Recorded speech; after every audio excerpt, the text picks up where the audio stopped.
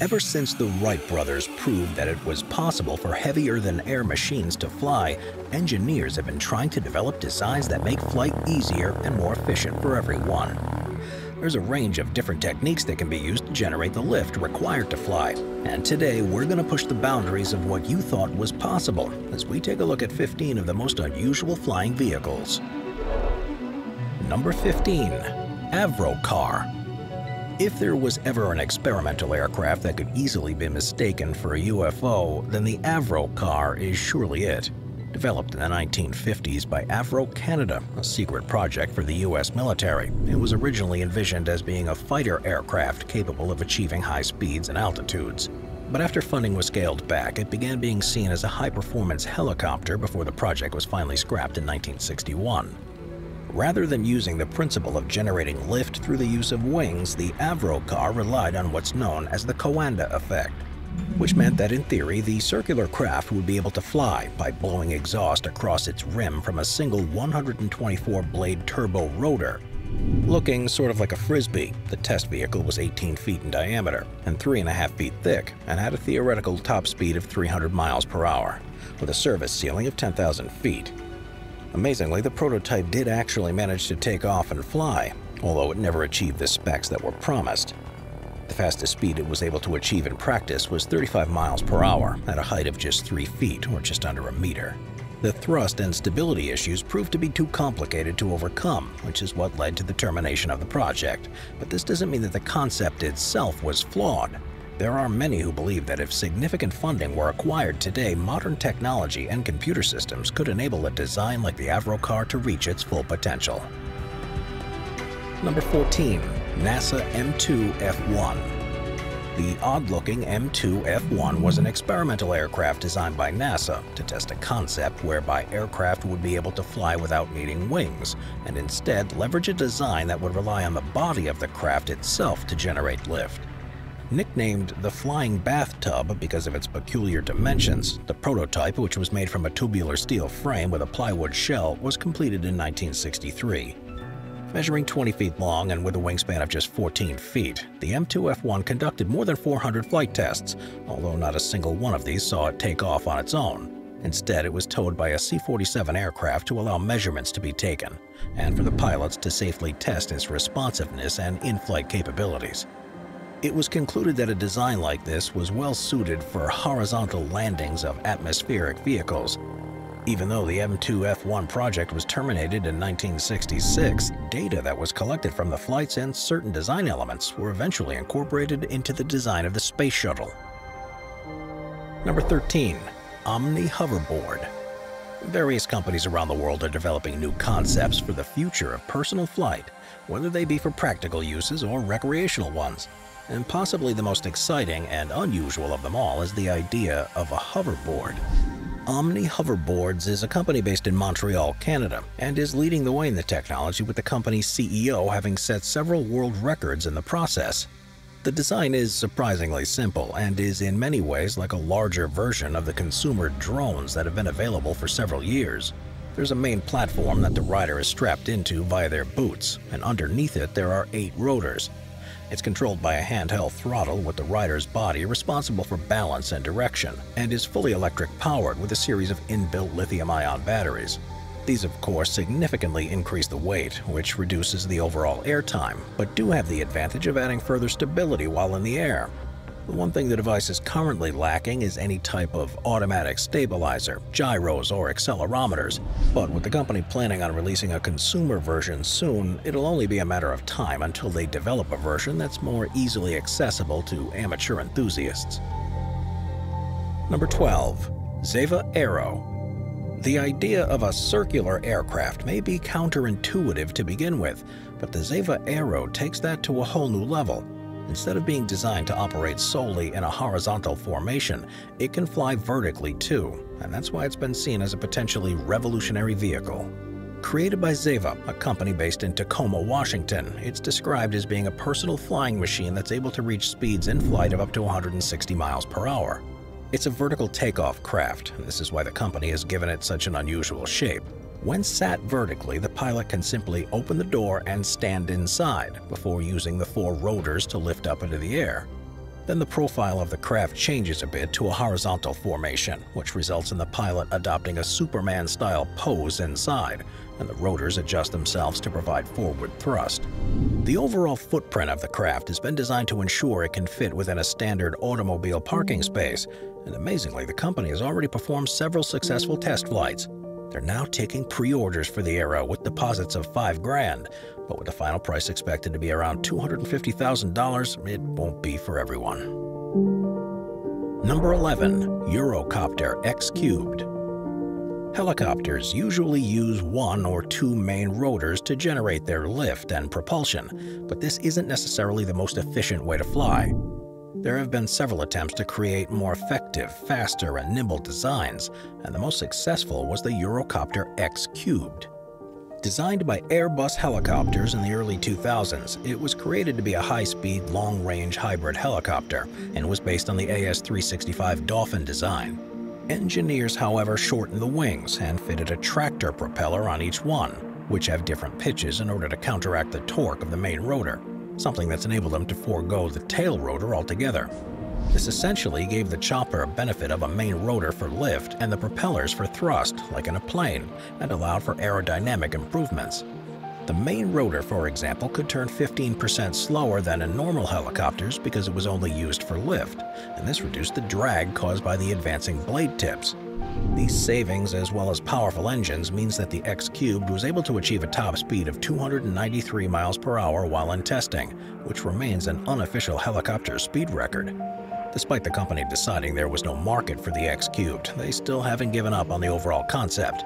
The original prototype is now in a museum, but the technology they developed for it is now being repurposed into a revolutionary design called the Airbus Racer and this is expected to enter testing soon, with the hopes that it'll offer a high-speed, low-emission vehicle for short-range flights. Number 10. Leduc 022 Built in the mid-1950s, the Leduc 022 was a French interceptor prototype aircraft that had been in development since before the Second World War. It was made to fulfill a very specific need, the ability to intercept and destroy any aerial threat while being able to take off from a 3,000-foot grass runway. And to do this, it was designed with a ramjet engine for performance in the air and a supplementary turbojet engine that allowed it to take off on its own and reach the required altitude and speed before the main engine kicked in. Measuring just under 60 feet long and with a wingspan of 32 feet, it had a maximum speed of 750 miles per hour and could carry up to 40 rockets. Featuring 30-degree swept wings and a tricycle landing gear, the O-22 had a monocoque fuselage, a plexiglass cockpit, and the entire forward section of the nose cone acted as an escape capsule for the pilot. At first, testing appeared to be going well and the craft performed 141 test flights, but unexpected performance issues resulting from its unusual configuration meant that the project was ultimately scrapped in 1958. Number 9. Hiller X-18 the bizarre-looking Hiller X-18 was an experimental transportation aircraft that was designed and developed in the 1950s and was one of the first to explore tilt wing and vertical liftoff and landing technology. Created by the Hiller Aircraft Corporation with funding from the U.S. Air Force, only one prototype was ever built and to cut costs, it was constructed mainly from salvaged parts from other aircraft, such as the fuselage of a Chase YC-122C Avitruc and the turboprops from a Lockheed XFV-1. Measuring 63 feet long and with a wingspan of 48 feet, the contra-rotating propellers had an enormous 16-foot diameter. Cleverly, the exhaust of the engine was diverted upwards and downwards at the tail to provide pitch control at lower speeds. And to begin with, the company thought the design, which they called the Propelloplane, was a major success. Issues encountered during testing, however, meant that the X-18 would only perform 20 test flights, and the program was canceled in 1964. It wasn't a complete failure, though, and developments made for the aircraft, such as cross-shafting between the engines and direct propeller pitch control, became important techniques for the vertical takeoff and landing aircraft that would be designed in the following decades. Number 8. Open Sky M02J. Aircraft designers often look to other sources of inspiration for the overall shape and efficiency of new prototypes. And while it's usually nature that they turn to, the developers of the Open Sky M02J had different ideas. Aircraft Olympos, a Japanese company, instead based their new design on the Mo aircraft, which featured in the Nausicaa of the Valley of the Wind anime, and the result was something very unusual.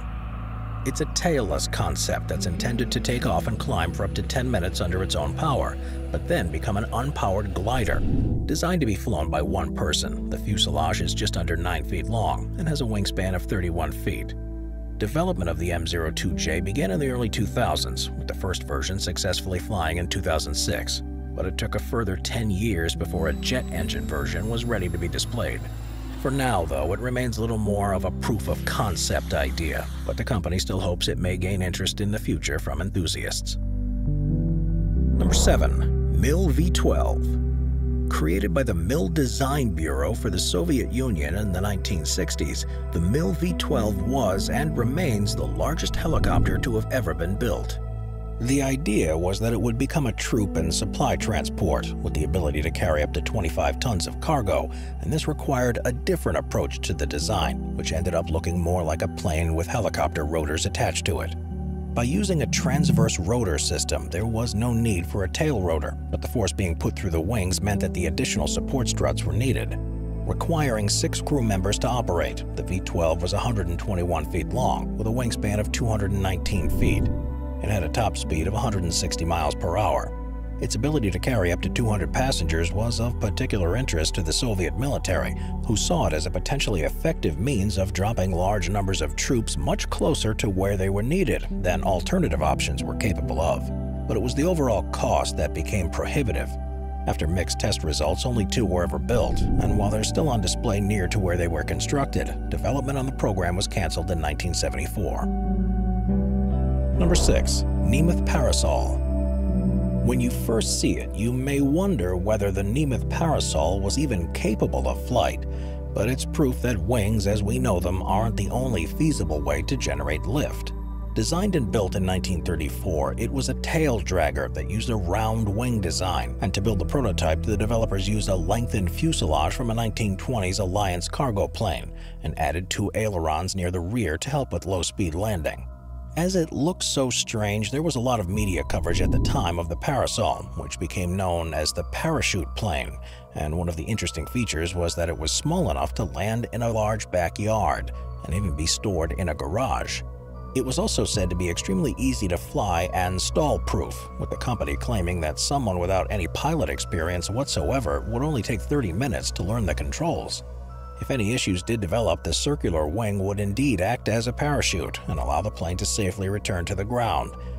Despite their best attempts to revolutionize the industry, the company behind the Parasol was only able to build one functioning prototype, and the drag created by the wing meant it used far more fuel than competitive designs. Number 5. Curtiss-Wright VZ-7 Designed by the Curtiss-Wright Company for the U.S. Army in the mid-1950s, the VZ-7 was heralded as the future of military transport. But rather than revolutionizing warfare, it's gone down in history as one of the strangest flying vehicles ever imagined. At the time, the Army was encouraging companies to create concepts for a flying jeep, and the VZ-7 was, for a time, seen as the frontrunner. The vertical takeoff and landing vehicle had a central platform where the pilot and passenger would sit in tandem, and that could also be equipped with machine guns. This had four ducted fan rotors mounted to it. The vehicle was 17 feet long, 16 feet wide, and 9 feet tall, and its French-built turboshaft engine meant it had a top speed of 32 miles per hour. The initial testing for the VZ-7 actually exceeded expectations and was looking to be a perfect floating platform that could be used as a scout or a transport. But the biggest challenge was its overall reliability. In 1960, the Army decided there was too great a risk of it failing, and that its slow speed would have made it an easy target for the enemy. So it was decided that the entire program looking to develop a flying jeep would be terminated. Number 4. Snecma Coleoptere C-450 Test pilots are known as being some of the bravest and craziest people in the world, but you can only imagine what it must have felt like to board the Snecma Coleoptere C-450 with the intention of taking it up into the sky with a name translating to mean beetle. It was a vertical takeoff and landing vehicle designed by French company Snecma in the late 1950s, and was the newest iteration of an overall design that had been developed over the previous years. measuring 26 feet long and a wingspan of 14 feet. The fuselage was surrounded by an annular wing, and stability and control was provided by the addition of four triangular winglets. Of course, the main thing that's unusual about it is its lack of noticeable wings, and it almost looks as if it's the nose section of a larger aircraft or rocket. Designed to accommodate one pilot who would be seated on a tilting ejector seat, the initial tests of the design seemed to be promising, but on its ninth flight there was a catastrophic error and the only prototype was completely destroyed. With little financing and nowhere near enough data to prove its viability, they had no choice but to end the C-450 project. Number 3. M15 Belphegor To begin with, the M15 Belphegor may look very similar to any other biplane, but this model holds a unique place in history as being the only jet-powered biplane to have ever gone into production. It was created by a Polish company in the early 1970s as an agricultural aircraft, and from the offset, the designers faced issues. Jet engines aren't particularly suited to low-flying, low-speed aircraft, and it took a long time to work out the handling and maintenance issues that arose. Furthermore, it was extremely noisy, something that, in combination with its strange appearance, led to it being known as Belphegor, after the noisy demon in Christian mythology. Even after the testing phase, the M15 remained tricky to fly, expensive to run, and was in no way an improvement on other established designs. But despite this, the company was still able to produce and sell 175 of them, even though the original plan was to manufacture many thousands. It's now believed that not a single one of them remains in use, but they do still retain the record for being the slowest jet aircraft ever made and the only jet-powered crop duster ever built. Number 2. NASA Helios with the need to produce designs that are able to work in wildly different environments that are present on our planet, NASA has for a long time been at the forefront of truly revolutionary aircraft technology. One of the most unusual in recent times is the Helios, which was part of a program in the late 1990s to develop solar and fuel cell-powered unmanned aerial vehicles. It was essentially one long, flexible wing, measuring 247 feet, and was made from lightweight materials such as carbon fiber, graphite epoxy, Kevlar, and styrofoam. It was built in six sections, and where they were each connected, there was an underwing pod that carried landing gears, battery systems, flight computers, and instruments to monitor performance. The entire surface of the monowing was covered with solar panels to provide the power needed in flight, and all flight control was provided by 72 trailing-edge elevators that were affixed along the entire length of the wing and operated by servo motors connected to the flight computers. In testing, the Helios was able to achieve a number of objectives, particularly its ability to reach the highest altitude ever obtained by a winged aircraft, and was able to do so for extended periods of time Helios was, however, completely destroyed during a test flight when unexpected vibrations began overwhelming the wing, and NASA decided they had learned enough from the concept to warrant building a new one. Number 1. Rutan Voyager Designed and built by the Rutan Aircraft Factory, the unusual-looking Rutan Voyager was a very different design to any aircraft that had come before it and this allowed it to set the record in 1986 for being the first plane to circumnavigate the globe without stopping or refueling.